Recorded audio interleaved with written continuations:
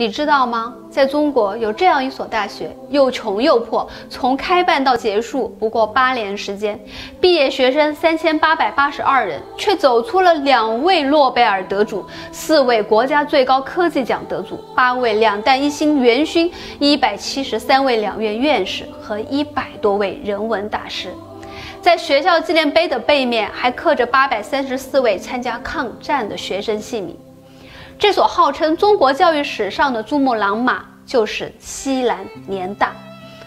在这所史上硬件最破的大学里，四十个学生挤在一个宿舍，教室里只有椅子，连课桌都没有。校长梅贻琦请梁思成夫妇设计校舍，从高楼到矮楼再到平房，连改了五稿都不满意。梅校长说，除了教室和图书馆，其他的都做成茅草屋。梁思成急了，农民都会盖的茅草房，你要我干什么？梅校长叹了一口气，国难当头，我们是真的没有办法。夫妇俩重新设计，边改边哭，他们哭联大，也哭中国。当低矮简陋的茅草屋填满了联大的校园，谁能想到这是出自蜚声中外的建筑大师之手呢？联大虽然穷，但却是最有骨气的大学。抗战爆发，日本人为了留住闻一多，给他配司机、分豪宅，但他分文没动，只拿了手稿，一路乞讨南下。华罗庚放弃国外待遇，跑到联大去住牛棚，棚里的牛粪熏天，他们被牛虱子咬得体无完肤。但是就在这样的环境下，他也攻克了十几个世界级的数学难题。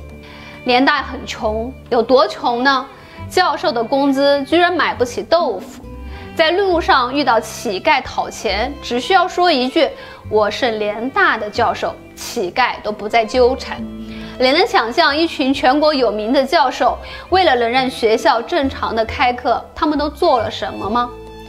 文学系教授刻印章，化学系教授做墨水，物理系教授做肥皂，生物系教授做酒精。他们坚信教育一定会让这个破败的国家变得强大，到那时中国人才会挺直腰杆重新站起来。